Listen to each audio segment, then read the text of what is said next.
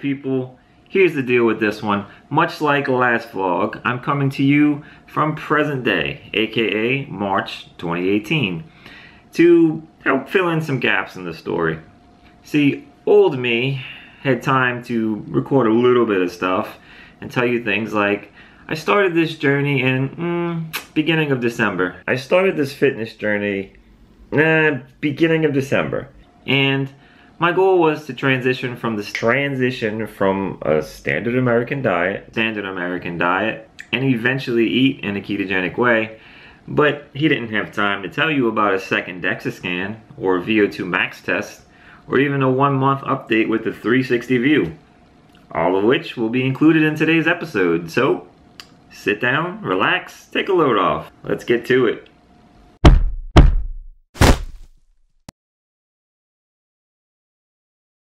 Right, like I said, I had time to film a little bit of stuff and fill you in on things, but it wasn't real time. So some of those in the moment details probably got lost a little bit, which is kind of crappy. Yeah, it's a little crappy, I understand. But it's also kind of a blessing because I have gained a lot of insight since then.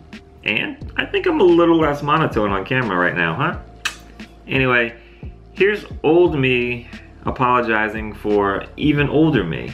I apologize. I really wanted to do more in-depth week to week um, as I went along so that I could really just freshly tell you exactly how I was feeling every day, exactly what I was eating every day, how things were going, show you my testing when I did ketone uh, test and also blood sugar tests.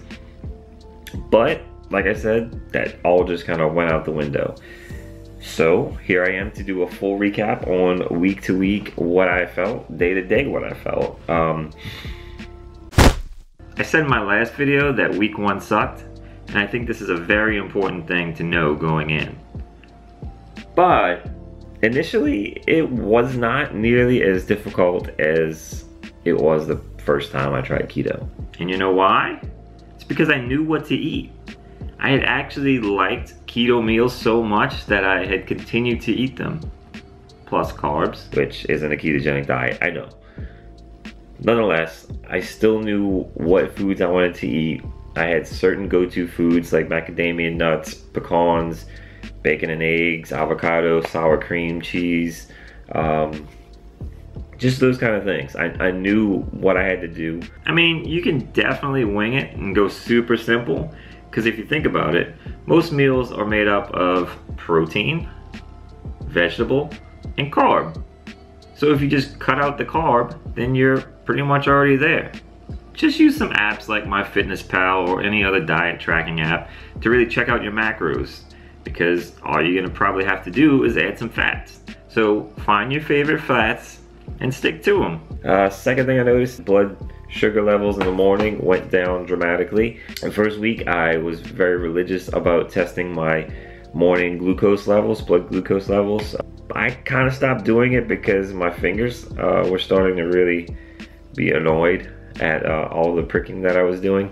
I may have been going a little bit overboard on that. Eh, it's just kind of how I do things. Um, nonetheless, day one I started with a 125, which is pretty high. Um, generally, people that are non-diabetic like to be like you like to see your blood sugar levels in the morning fasted um, under 100 and so 125 was pretty high. Continued on throughout the week. At the end of the week, I got something in the 70s. As someone doing this really to avoid insulin resistance, I found it's just another great marker to let you know you're going in the right direction. You don't have to do it forever, but I mean, getting a good baseline and then testing and seeing that you're progressing, and then also trending, trying to figure out what time of day, what type of things trigger certain responses. It's, it's all very helpful information going forward. You can start to make better choices over time knowing those stats. I have been testing my ketone levels. Uh, did not really see anything super like stellar as far as ketone levels. I think it was low completely for the first week. Week two, I started to, I think I started to kind of get keto flu. Not really full blown keto flu, like bad headaches, really foggy. I did have some issues with with my my regular diet. Like I couldn't eat um, breakfast, lunch, and dinner like I normally used to because I was on the road a lot and I just didn't have that opportunity to get breakfast, lunch, and dinner. That was good and bad. Um, bad because I wasn't fully keto adapted, I guess you'd say, and I was really craving foods. So those first couple weeks were really about just breaking the cycle and getting into something else, like an alternate eating path.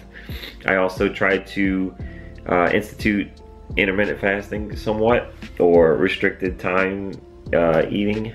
So in general, I would try to push off breakfast until about 10 or 11 if I could. If I couldn't wait until 11, I would just take a handful of macadamia nuts, sometimes craisins, or and uh, get a little snack in before lunch. Week three, finding my stride. Yes, finding my stride. Once I got into week three, those carbs were slowly slowing down. I was getting less and less carbs. I was starting to feel more energetic. I was feeling lighter. I knew what to eat. I was getting a routine, on and on and on, and all kinds of good things. When I got to that point, I was really starting to feel like I needed to get out there and start exercising because up to this point, I had not.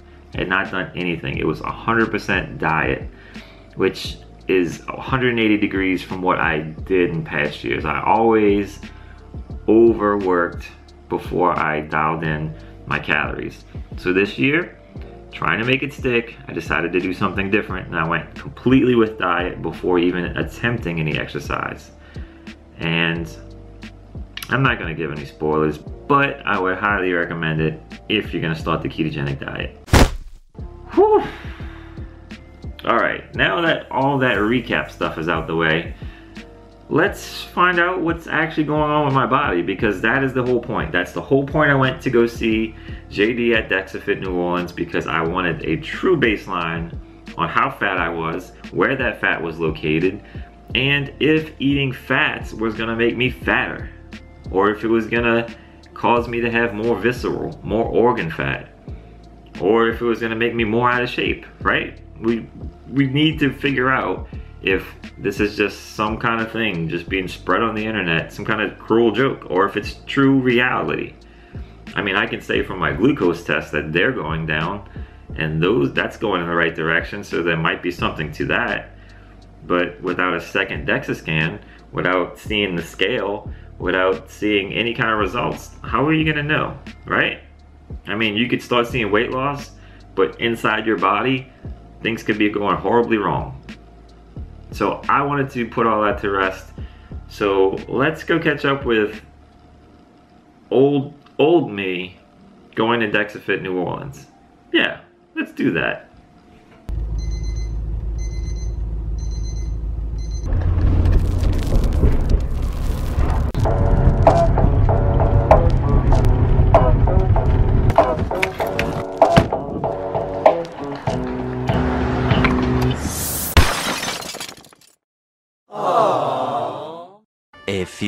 Moments later. Uh, so very first number one look at is there. So last time it came in about 33.6, today Okay. about 32.4, so not too bad. You know, that's like in a month's time, less than Yeah. a month's time, you know? Okay. Um, so you have about, oh, okay, so the, the best thing about this is that, let's look at these changes at, the, at this last page. So you actually dropped about nine pounds from that nine pounds, five and a half of that is fat, and just a little bit of that's from your lean lean tissue. But remember what I told you? I think I might have told you the lean tissue. Take it as a grain with a grain of salt Right. because um, you know that does include some glycogen stores too. So if you've been on like a low carb diet, Mhm. it's going to uh, detect that you're gonna that you drop more, you know lean tissue. Gotcha. Okay. Uh, visceral fat went down a good bit too. So you went from three and a half down to two and a half. Oh, that's always good. That's always good.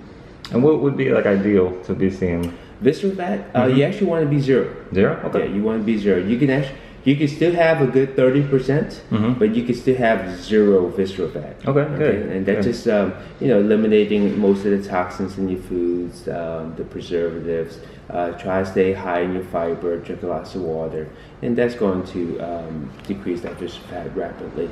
But down here we can see uh, that your belly fat went down a whole pound right there. Nice. Very good. That's that visceral fat once again. Almost the same, almost a pound on that. Now, would that mean, being that they're almost a pound here and a pound here, does that mean that most of it is visceral fat, or is that just kind of going back to this? Uh, no, that's actually two different fats. You, you lost. So I lost almost two pounds of fat then, Exactly. technically. Okay, great. Well, I was very, very surprised at that. I mean, okay, I wasn't surprised, surprised, but I was pleasantly surprised that I lost a pound of organ fat. A pound. One pound of organ fat. Just the organ fat. I mean, yeah, I lost weight overall in my entire body, but that's the, the killer. You know, he actually said the silent killer is visceral fat. That's the one you don't want to see. And it's the one that diminished. It's one of the greatest percentages that diminished. I think that's freaking awesome. Proof of concept, right? Proof of concept is what this is about. It's not about just trying to get some confirmation bias. It's actually getting hard data to prove that this is actually what's going on. And it's proving it. Whew. Right? Okay. Okay. That's cool and all, but we're not done, right? We're not done. I actually went and got a VO2 max test because I wanted to see what my VO2 max is because I love cardio. Why? Quick disclaimer, I've never done a VO2 max test before in my life. I didn't really know what it was going to be like, so I kind of feel like I cut out a little bit too early and hopefully it didn't skew the results too much. Again, I haven't worked out at this point getting this VO2 max test. I hadn't worked out for like six months prior. I hadn't gone on any runs and I'll try to find my most recent run before that and post it up here. Is it there? I don't know if it's there. Is it there? Okay. There you go.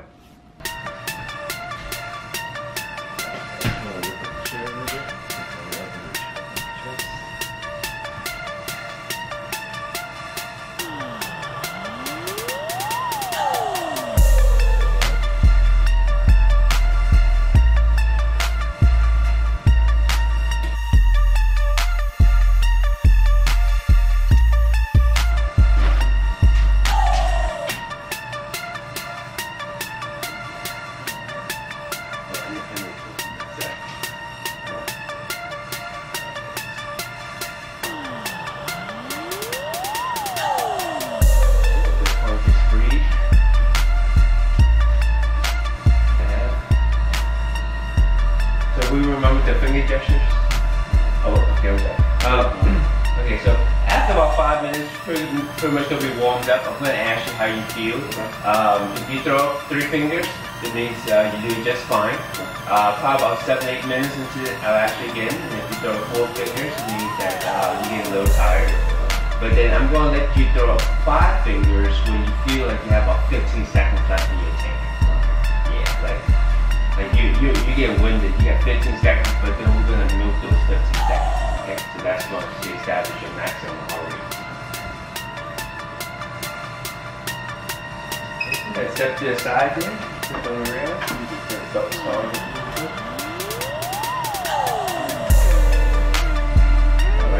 hit number three. That'll be three miles per hour there, son. And start walking. Remember, use any handrail throughout the whole test uh, towards the very end when when uh, we, we shut down the machine and grab whatever you want. Uh, but when, even when we go through uh, recovery mode, we're gonna keep the mask on.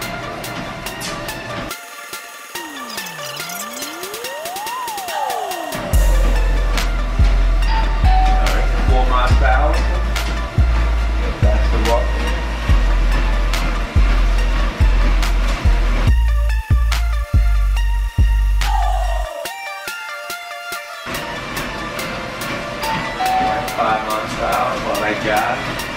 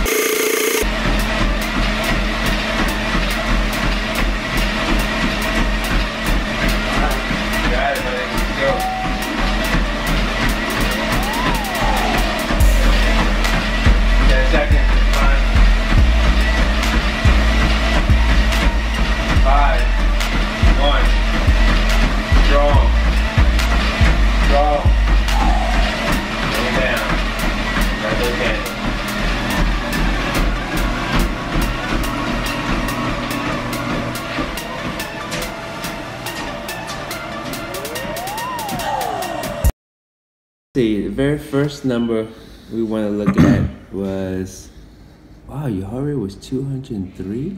That's crazy. That is, I don't know. That's crazy. Highest I think I've ever seen it running was like maybe 196, 198. Okay. Yeah, yours jumped up pretty high. How old are you again? 34, about to be 35. Oh wow, see, 220 minus 35. It should be like 190. At 185. 185. How the hell you jump up that high? I don't know, I guess you want to test me again though. no, actually, I, I kind of do. That's, that's. That's kind of weird. Not today. No, I hear you. Definitely another day. Okay, let's um let's go on. Let's look at a little bit more stuff here. So it's showing that your maximum heart rate is 203. I'm still boggled with that. Um, but in a minute, um, your heart rate go down to about one seventy two. In two minutes, it will go down to one fifty seven. So you, It's a decent you have a pretty good recovery time there. Um, your your aerobic threshold starts off about 143 beats per minute. So that's when your body starts burning fat for fuel more efficiently. Gotcha. But when it reaches to 156, that's when it starts burning more glycogen Mm-hmm. stores there. So between these two numbers here, and I will show you back up here, the mother zone, between 143 and 156, see right there. Right. So that's your kind of like your fat burning zone. This is this is calories per hour. That's Mhm. showing there. Yep. Okay. So if you were to run at the top end of your monitor zone, like 156, in an hour, you burn that 603 right there. Gotcha. Okay. But uh, whenever you do an HIT, you want to take it above 156. Mhm. Okay. So anywhere between here would be considered your your high intensity zone. Okay. Um, your VO2 max is kind of low. Okay. compared to your peers. Um, it shows that your VO2 max is 35 uh, kmm, which is uh, kil- milliliters um, per kilograms per minute. Okay. Okay, but on the national average, it shows that you're a little low right there. Okay. Okay, but you can always improve. Oh yeah. So yeah, a VO2 max baseline. There you go. But drum roll, please. That was a horrible drum roll. Anyway, it's time for the month one 360 update. Side by side comparison of fat me to potentially less fatter me. Enjoy.